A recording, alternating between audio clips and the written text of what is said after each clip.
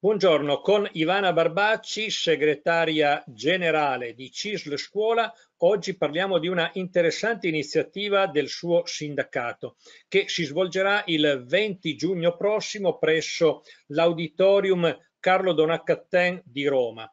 Cosa succederà il 20 di giugno? Eh, succederà esattamente questo, che ci sarà un incontro seminariale del Consiglio eh, generale di eh, CISL Scuola in cui si parlerà di autonomia, autonomia scolastica e autonomia differenziata. Si coglierà anche l'occasione di confrontarsi e anche di ascoltare la relazione di un importante, di un noto costituzionalista che è il professor Alfonso Celotto. Ecco, eh, Barbaci, intanto perché avete deciso di organizzare questo evento che, attenzione, è un evento interno vostro, oppure è un evento che sicuramente avrà una sua risonanza perché poi eh, avremo la possibilità tutti quanti di leggere gli atti, i documenti che usciranno. Ecco perché avete preso questa decisione.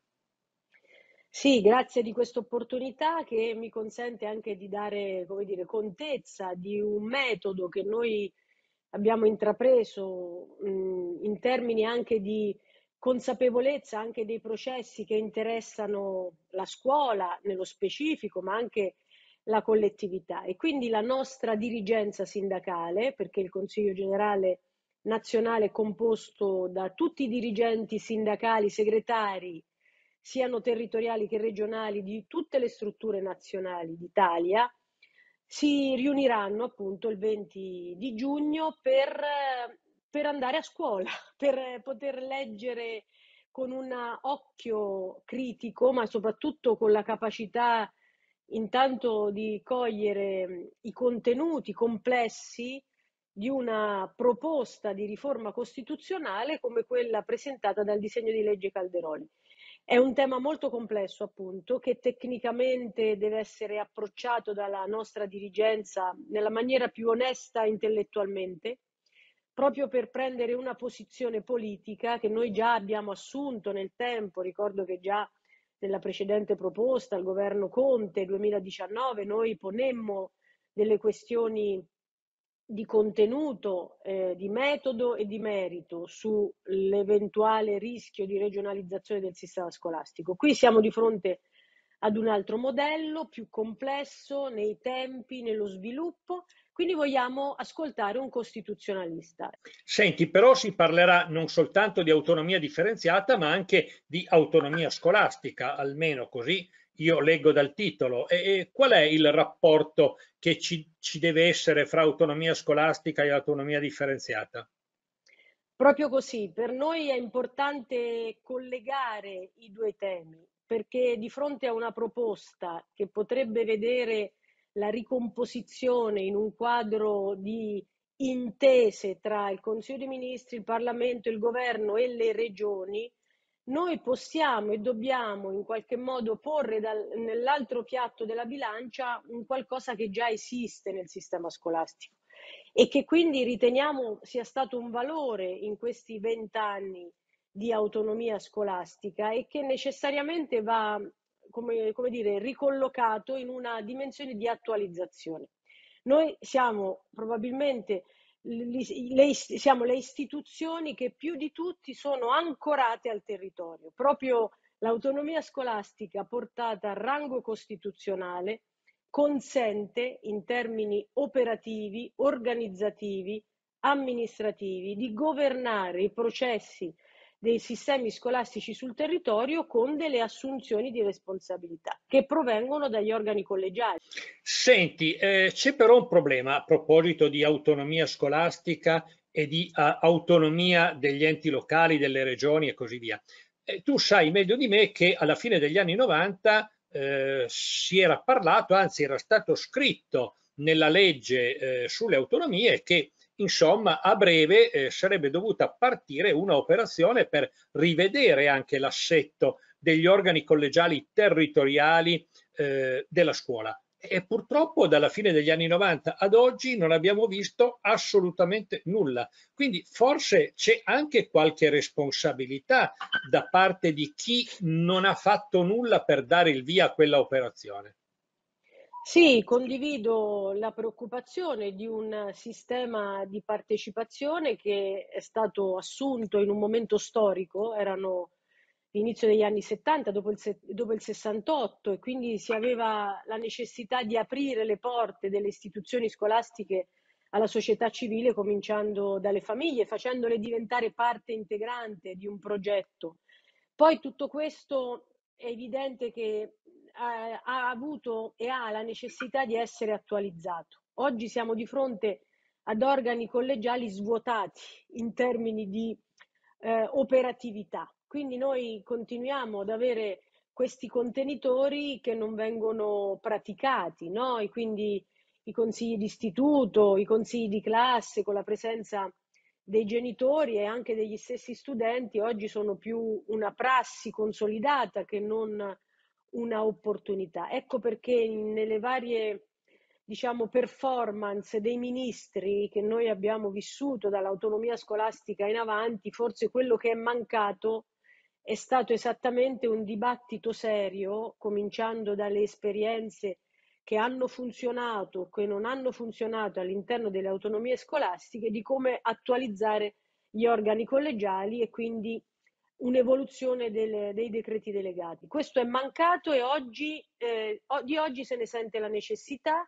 Io ricordo che noi nel precedente contratto 2016-2018 introducemmo un articolo, l'articolo 24, che parlava proprio di comunità educante, che era un primo passaggio di, eh, concettuale per poter dare in qualche modo l'assist al legislatore per poter immaginare una sorta di rivisitazione di come si può essere protagonisti e certo. questo avrebbe, se si fosse colta questa occasione, avrebbe rinsaldato un'alleanza tra scuola, famiglia e territorio che oggi manca. Venendo al problema, al tema dell'autonomia eh, scolastica, eh, tu sai meglio di me che insomma ogni tanto c'è chi dice no, l'autonomia è stato un errore gravissimo, non bisognava procedere in quella direzione. Eh, ecco, tu cosa, il vostro sindacato, su che posizione è in merito? Allora, io non ero ancora segretaria nazionale e già allora però ricordo benissimo quale fu la nostra posizione. Noi sostenemmo fortemente l'introduzione dell'autonomia scolastica e mi sento di dire che quella fu una scommessa che, che il Paese doveva affrontare e che la scuola ha fatto bene a cogliere.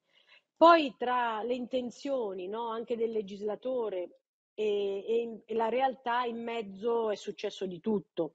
Mi sento di dire che oggi possiamo, eh, analizzando il passato, eh, diciamo scattare una fotografia di un'autonomia dichiarata piuttosto che esercitata, un'autonomia scolastica dichiarata con la mancanza invece di tutta una serie di interventi che avrebbero dovuto invece rendere protagonista davvero in termini operativi e anche di vision ehm, gli organi collegiali e eh, i docenti e il dirigente scolastico. Ecco, ma allora secondo te appunto eh, che cosa è mancato? Cioè perché l'autonomia scolastica oggi la si vede un po' come un mezzo fallimento? Cosa si doveva fare a tuo parere?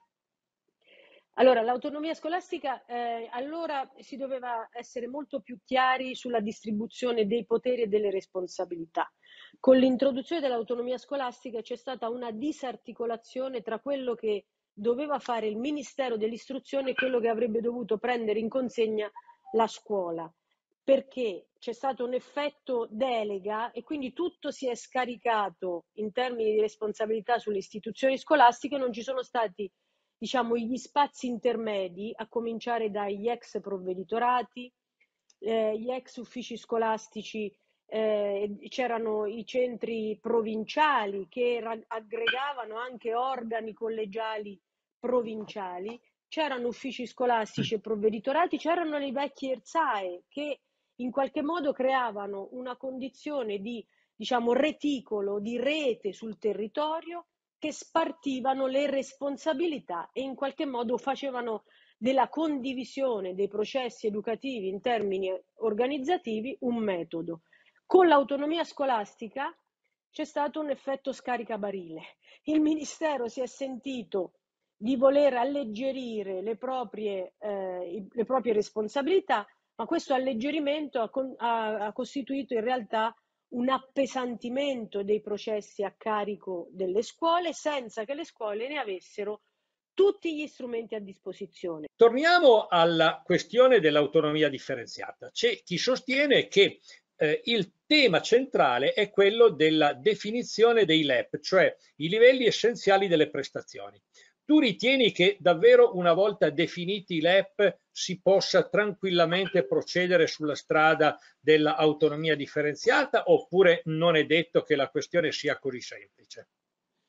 Io ritengo che sia molto complesso anche intanto individuare nel sistema di istruzione dove si ha a che fare con dei processi le, i cui effetti si colgono non nel mentre che agisci, ma eh, successivamente, è molto difficile individuare nel sistema di istruzione il livello essenziale delle prestazioni, perché tutto o gran parte è legato e collegato al contesto. Quindi se parliamo di livelli di carattere quantitativo e quindi quanti asili nido, quanti, quanto tempo scuola, quanti tempi pieni devo poter garantire in ogni istituto scolastico, allora può essere anche semplice. È vero che questo si può ottenere senza l'autonomia differenziata, basterebbe fornire un organico adeguato, creare le condizioni perché gli enti locali abbiano gli spazi, i trasporti e le mense, quindi è tutto davvero molto concatenato. Poi quando entriamo invece nella pratica operativa dei processi di insegnamento-apprendimento, stabilire che i livelli di apprendimento in Calabria debbano prevedere un livello essenziale alla stessa maniera di quanto non possa essere in Lombardia è pressoché impossibile, perché addirittura ci sono le differenze dentro la stessa città. Cioè un conto è imparare eh, e quindi insegnare e imparare in una periferia di Milano, un conto è imparare ed insegnare a, eh, diciamo, il centro storico di Milano dove c'è via Monte Napoleone. Senti, non dimentichiamo che il tema dell'autonomia differenziata era uno dei punti fermi del programma eh, della coalizione che poi ha vinto le elezioni. Quindi alla fin fine diciamo che questa maggioranza che sta governando è eh, pienamente legittimata ad operare eh, in questa direzione. È giusto quello che dico? Sì, è giusto. Andando a rileggere il programma di governo del centrodestra, noi troviamo l'autonomia differenziata. Io, dal mio punto di vista, mi sento di dire che eh, trattandosi di un accordo tra Parlamento, governo e regioni, dobbiamo stare molto attenti sulle materie che possono e devono essere oggetto di autonomia differenziata. E quindi in questo dibattito, che è un dibattito aperto, nel quale la CISL è molto attenta anche a cogliere occasioni e opportunità di crescita anche andando a eh, diciamo, rendere più prossimo eh, l'attore e il regista delle azioni. In questo dibattito però noi dobbiamo fare molta attenzione nel salvaguardare alcune cose. Una su tutte è l'integrità del sistema, nazio- certo. sistema scolastico nazionale. Quindi Ben venga il dibattito sull'autonomia differenziata, ma la scuola deve essere salvaguardata nella sua complessità nazionale. Senti, concludiamo con l'ultima domanda che eh, ti faccio proprio in relazione ad una frase che tu hai detto Aurora quando hai detto la CISL è molto attenta.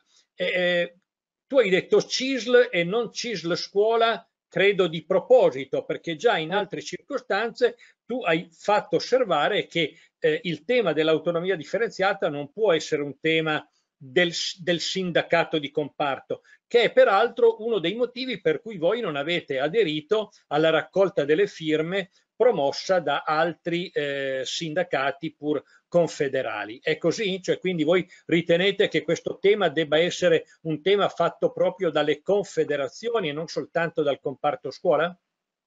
È esattamente mh, mm, eh, corretto quello che tu dici perché l'autonomia differenziata abbraccia una serie di aree, di materie, dalle infrastrutture alla mobilità, all'ambiente, al sistema eh, sanitario, al sistema di istruzione. Quindi ha una complessità in termini di vita, eh, diciamo, e di qualità della vita delle persone, che è un tema del tutto confederale. Il motivo certo. per cui non abbiamo aderito alla raccolta delle firme per, diciamo, ehm, contrastare eh, l'autonomia differenziata è stato esattamente quello che eh, la, la, determinazione del fatto che CISL Scuola e quindi la categoria, la federazione che io rappresento si occupa della parte specifica del sistema scolastico, mentre invece sugli altri temi la CISL è particolarmente attenta e anche diciamo propositiva rispetto ad alcuni elementi che possono eh, responsabilizzare i territori, ma è molto attenta a salvaguardare invece